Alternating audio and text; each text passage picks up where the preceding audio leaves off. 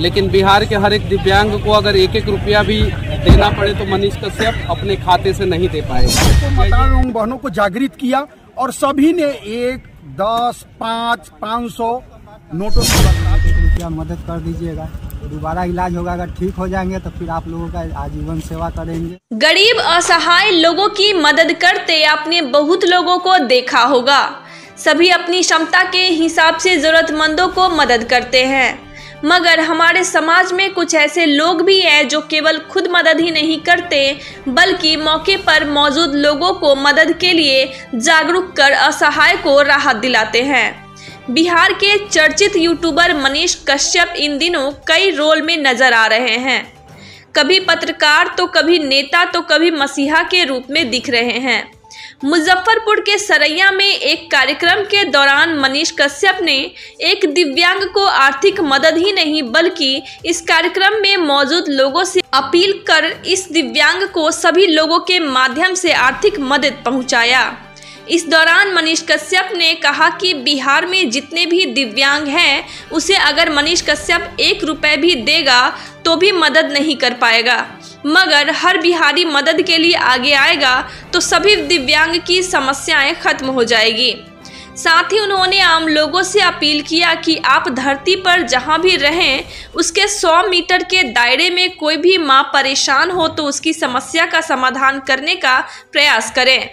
इस तरह अगर बिहार का एक बेटा समस्या के समाधान को लेकर आगे आएगा तो कोई भी माँ परेशान नहीं रहेगी।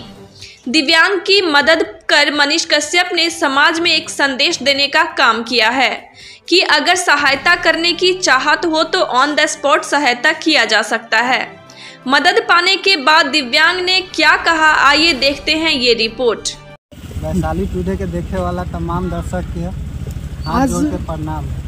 आज किसका कार्यक्रम देखने आए थे आप? मनीष भैया का निकेत भैया का गौरव भाई है यहाँ वैशाली क्षेत्र के। उनसे क्या गुजारिश किए थे आप?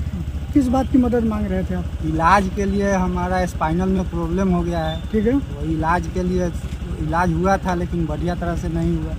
दोबारा प्रयास किए हैं कि अगर आप लोग एक एक रुपया मदद कर दीजिएगा। तो दोबारा इलाज होगा अगर ठीक हो जाएँगे तो फिर आप लोगों का आजीवन सेवा करेंगे। तो ये ये आपको नेताओं के बीच जाना चाहिए नेताओं से मांगना चाहिए बड़े लोगों से। आपको क्या लगता है कि हम यहाँ आए, हम आपसे बोल रहे हैं और किसी से नहीं बोल सकते हैं? सबसे बोले हैं लेकिन कोई सुनता ही नहीं।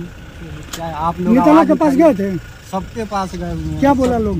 फ़ोन में रिकॉर्डिंग है। बोलते हैं कि हाँ जब भी हमारा ज़रूरत होगा हमें बताना हम मदद करेंगे लेकिन उसके बाद फ़ोन करो तो कोई नहीं। तो आज इनके पास आए तो क्या मदद मिली कि नहीं? यहाँ से मदद तो मिला है। जो भी नहीं तो न्यूज़ चैनल पे हमारा वीडियो दिखा दिए ना वही हमारे लिए बहुत है मदद किया। हम्म?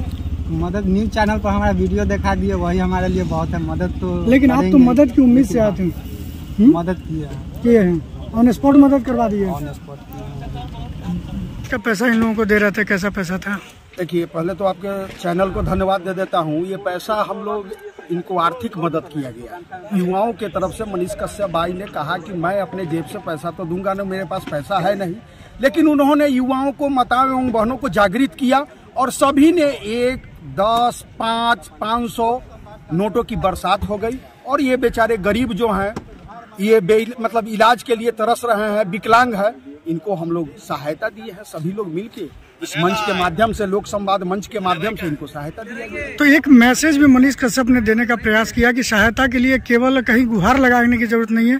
अगर चाहत हो तो ऑन स्पॉट सहायता कर दिया सर। बिल्कुल मनीष भाई ने कहा है कि अपने 100 मीटर के डिस्टेंस में आप किसी को एक हज़ार रुपया मदद करने की क्षमता रखिए। स्वतः बिहार बदलेगा, स्वतः मानसिकता बदलेगा। किसी विधायक और एमपी के नज़दीक जाने की आवश्यकता नहीं है। अपने विधायक और एमपी लोग बदल जाएँगे। लेकिन बिहार के हर एक दिव्यांग को अगर एक एक रुपया भी देना पड़े तो मनीष कश्यप अपने खाते से नहीं दे पाएगा या ये नहीं दे पाएँगे। लेकिन हम सभी बिहारी अगर मदद करेंगे तो बिहार में अगर कोई भी दिव्यांग भाई है तो उसके सारे समस्याओं का समाधान हो जाएगा। साथ ही साथ एक महत्वपूर्ण बात मैं आप लोगों से बता देना चाहता हूँ कि अगर आप धरती पे इंसान के रूप में पैदा हुए हैं तो प्रयास करें कि आपके 100 मीटर की दायरे में 100 मीटर के डायामीटर में, या डायामीटर समझते हैं ना, दायरा 100 मीटर के दायरे में अगर कोई भी माँ परेशान हो तो उसके समस्या का समाधान करने का प्रयास करें और अगर एक एक बेटा बिहार का जो है, एक एक माँ के कष्ट को दूर करने का प्रयास करेगा तो बिहार में कोई भी माँ जो है, वो समस्या से ग्रसित नहीं रहेगी।